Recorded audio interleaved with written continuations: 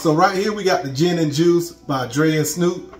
Hey, uh, bro, some drinks don't need to be made. Nobody drinks gin. And better yet, gin and juice so old. I always wondered what kind of juice Snoop was talking about when he mixed the gin and juice in that song.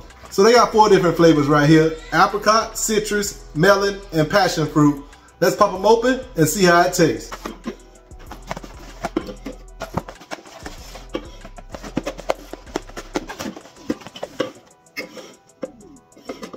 Now this comes in an eight pack for about 17 bucks. I got it at ABC Fine Wine and Spirits.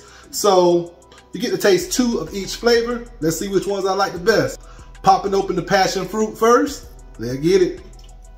5.9% alcohol by volume.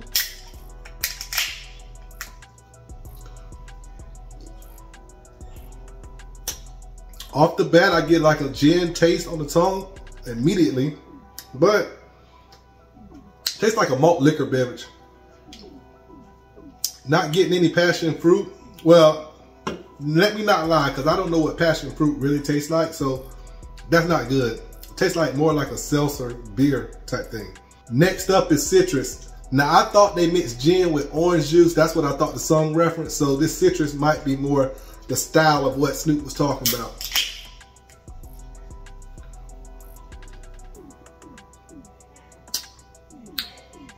It's not a strong gin taste, but you do taste the gin and you taste the citrus in there. So it's it's literally like it's really gin in here.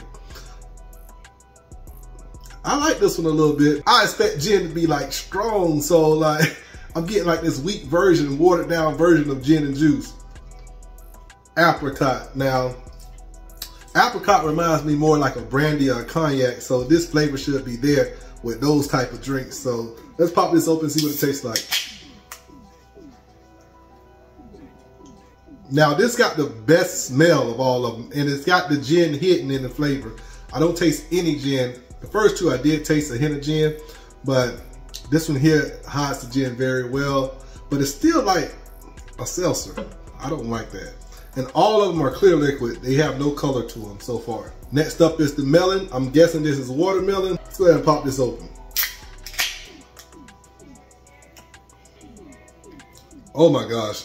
It's not a watermelon it's a melon, but I don't taste watermelon, so it tastes more like cucumber-ish with some gin, watered down gin in it. They all are carbonated. I would say overall, this crap sucks. Uh, I give it a thumbs down. This is trash. I wouldn't waste my money on this, but I, I did waste my money. Hopefully y'all watch this, y'all enjoy it, and hopefully I can get my money back from the views. Man, drop a comment, man, for me keeping it real for you. Yes, sir.